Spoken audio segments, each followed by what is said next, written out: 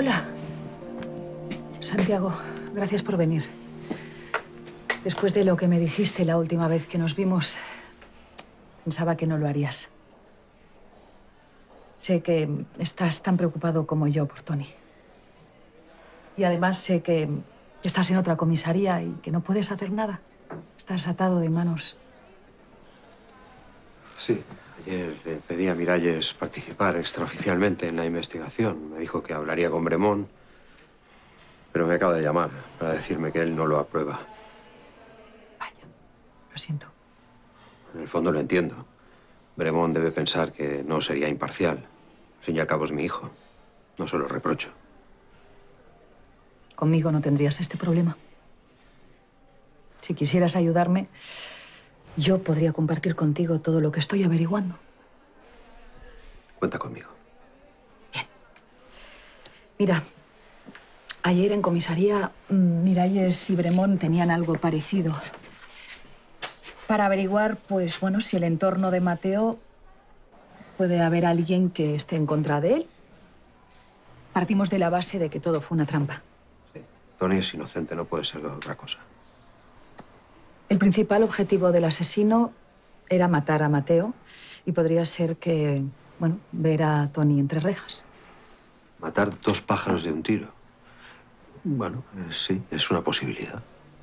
Puede que escogiera a Tony para aprovecharse de la relación que tienen mi marido y él. O bien, pues que tenga algo personal con Tony. Habría que, habría que apuntar a la gente cercana a Mateo que tuviera algún motivo para hacerle daño. No sé, ya sea por asuntos personales o, o profesionales o económicos. Pero también a la gente no tan cercana, porque al fin y al cabo el artículo que publicó el periodicucho ese, difundiendo el, el mal rollo que había entre Tony y Mateo, no sé, después de eso cualquiera podría estar al corriente de su enemistad. Sí. ¿Has pensado si hay alguien que podría tener algo en contra de Tony? Yo he estado dándole vueltas y la verdad es que... Es que no, no, no, no lo veo claro. No sé, tú siendo su padre quizás puedes saber quién pueden ser sus posibles enemigos. Verónica, creo que me he equivocado contigo. Perdóname por todo lo que te dije ayer en la plaza. No estuve nada fino. Por mi parte está olvidado. Quizás yo hubiera actuado igual si fuera mi hija la que estuviera encerrada. Estuve a punto de contratar a otro abogado y apartarte, apartarte de él. Pero ahora veo que tú eres la mejor que puede defenderle. Me voy a dejar la piel en esto, Santiago. ¿Has ido a verle a la cárcel?